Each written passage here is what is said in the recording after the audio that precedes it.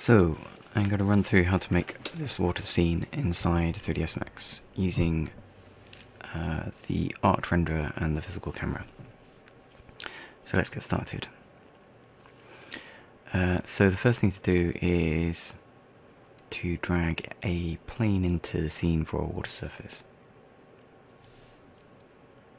So let's do that. So I'm just going to go over here into the create tab and create a plane. Uh, let's put it there and I'm going to make it 25 by 20 meters just for the sake of it. And then I'm going to rotate it into view.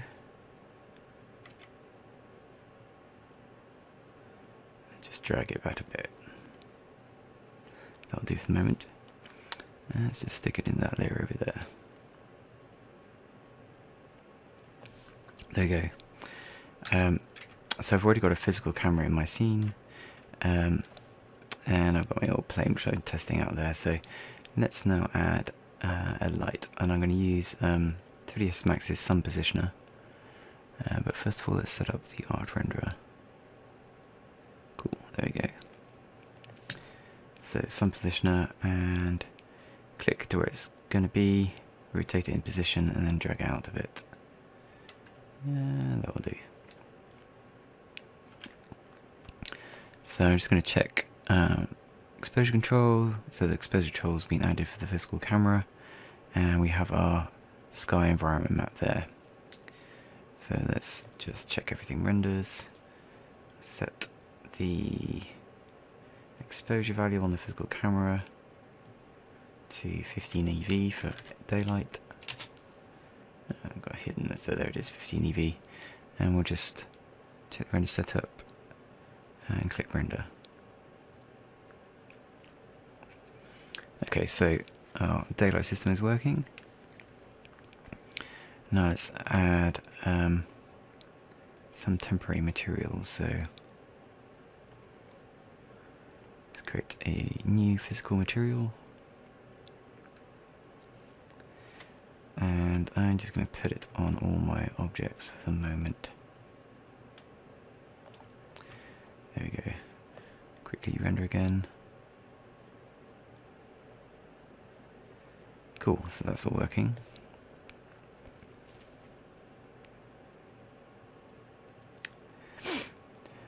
Uh, so let's look at deforming this water surface.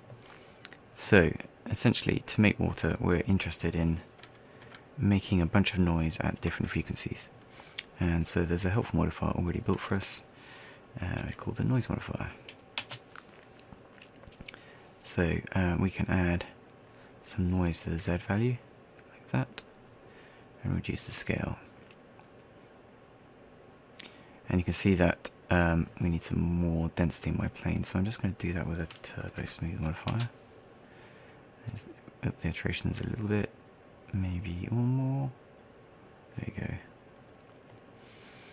And expand that out a bit. Going to turn that into a fractal.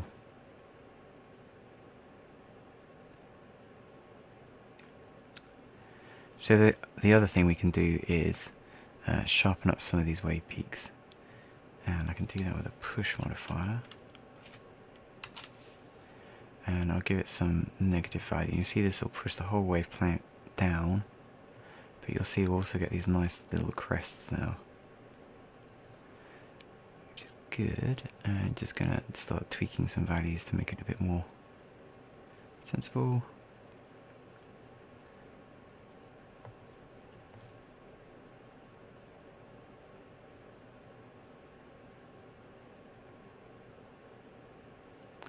Let's have a look at that.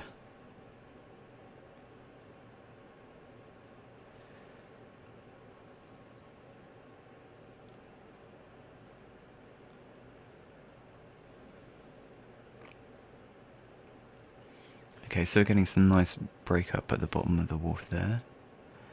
And let's just push the plane back a bit so that we're not seeing off into the rest of the world.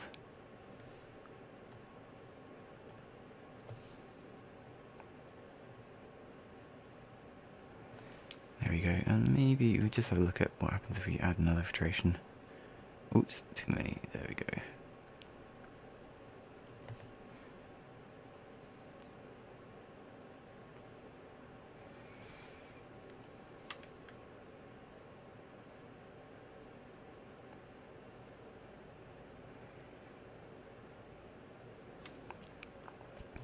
So the push modifier is a bit harsh. You can see these little black bits everywhere where the push modifier is clipping through itself. So just going to reduce that to maybe 0.5. Try again.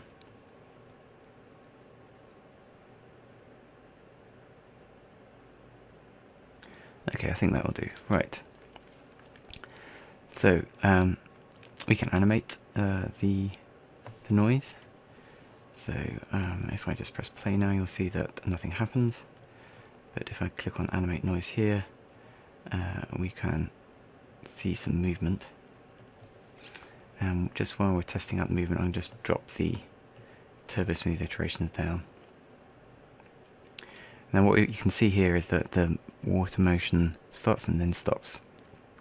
And we want it to be continuous, so we can do that by selecting the water plane and then down here on the bar here, we're going to click on the key and choose phase, and then I'm going to change all these values to linear.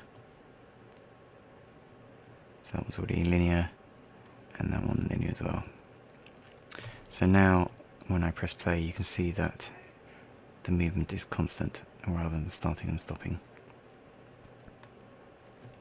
Cool, so let's just up the iterations again.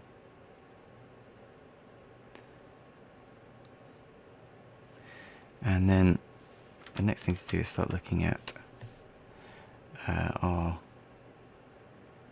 interesting. Let's really crank it up.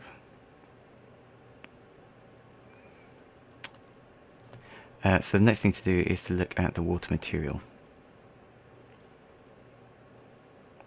Because this looks rather like snow at the moment. So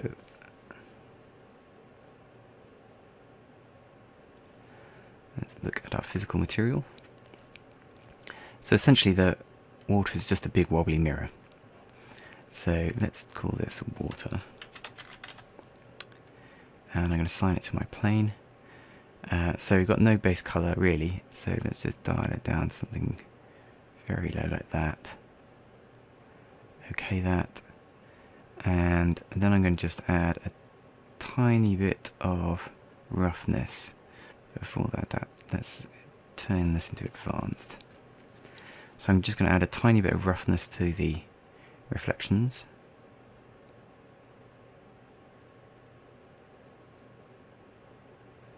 And I'm going to drop the IOR down to water, which is 1.33, I believe. Let's have a look at that then. And there we go.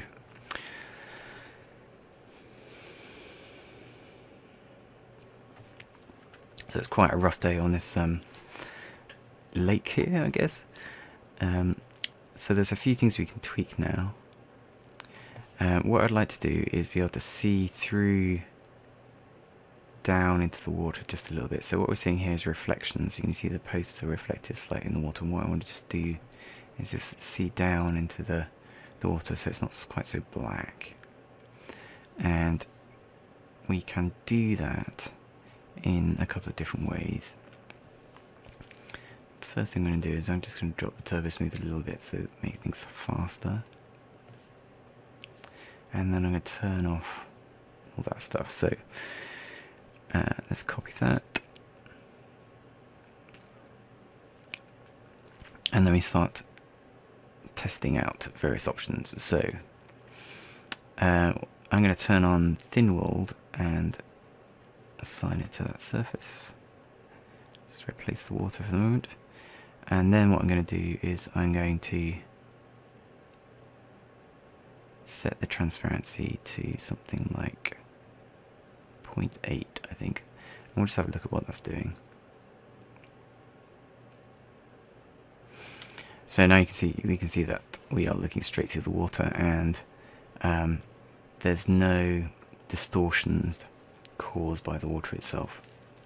Because uh, that's what Thinwall do does. Thin wall is designed for um, basically glass. So, and if you mouse over it says that um, there will be no refraction or transparency depth. Okay, so let's turn that off and we'll do that again. So now you can see we get a similar result, but our poles have shortened slightly, and that's because of the refraction effect. So let's just turn this off again. Uh, if we turn our noise back on,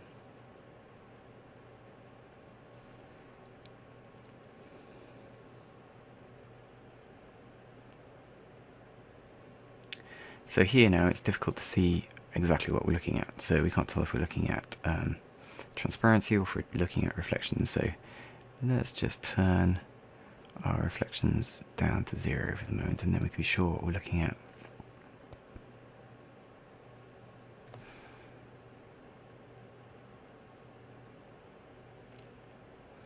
So now you can see I've turned the reflections off and now we can definitely see that this is just the distortion effect caused by the water.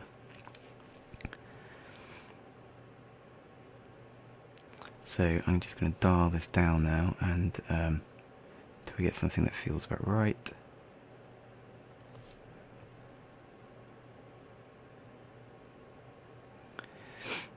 So the other thing I can do is I can mess with uh, this depth value.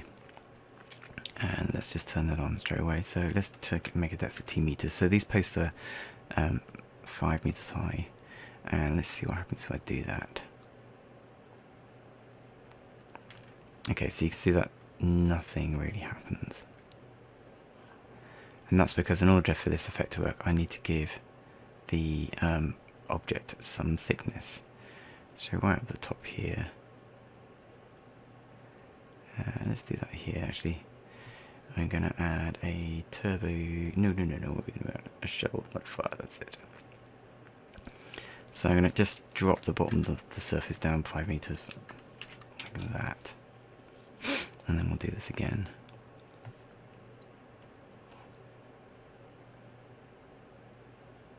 Now you can see that we've got a very, a very different effect. So let's inspect what's happening. So I'm just going to mouse over the uh, depth control and it says um, basically that if it's non-zero, the transparency color is reached when, this kind of transparent color is reached when we hit the depth. So if I set the depth to 1 meter, which is about down there, and I'm going to set that to sort of some dark grey like that, um, then uh, we should hit that colour at that depth. So let's see what that looks like. So now I've got some deep dark water, uh, uh, which is going to be the base of our, our water sort of fogging effect. And then we can apply our reflections on top of that. So I'll stop this once more and we can turn our reflections back on again by simply dialing that up to 1 and then I'm going to push that noise and that back on again and let's have another render.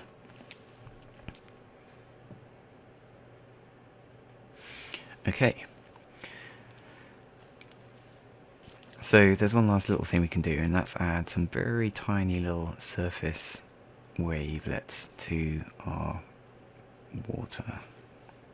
So stop that. So I'm just going to copy this over here and we can do that just with some more noise. So, but again, in order to inspect what's happening, I'm just going to turn our other noise off. So I'm going to add in the physical material, I'm going to add another noise map like this. And I'll turn it on to fractal. And we're going to set it to world XYZ. And let's just apply that now to our plane, place the existing material and re-render. Oops, and that's because I turned off the shell, so it's ruined all my fog. So let's just turn that back on again and re-render.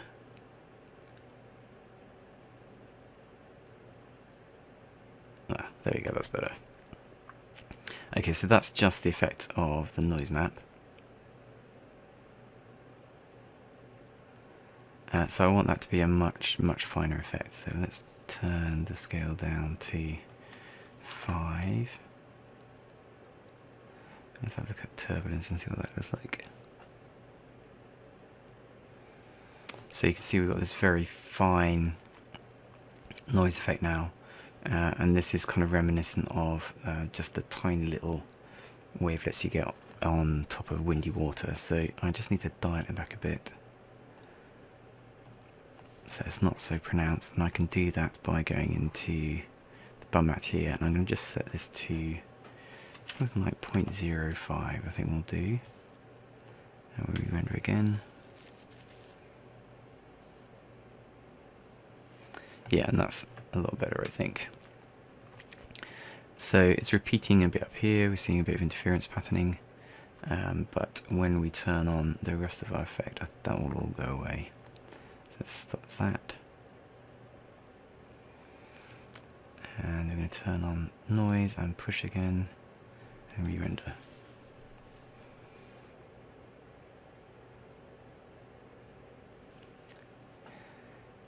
Cool. So what I'll do, I think is I'll just stop the video here. I'm going to apply some materials to the um, pier.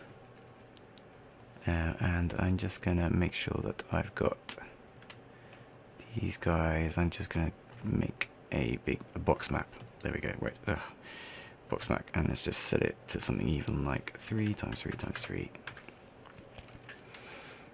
And then we'll render that. So uh, I wanted something a bit prettier, so I went and grabbed a texture from CGTextures. Uh, so we've got a nicer wood texture here and tweaked a few of the values. So what I found is that uh, we had a very small Z value for our noise of 0.06, scale of 20.5, and then quite a big push value of 0.25. And that gave me this um, sort of sharp wavelet look. And we've got sort of some high wind on this lake. Uh, so I hope you enjoyed that. I'm going to find a way to share this scene file with you guys. So um, hopefully that will come out soon.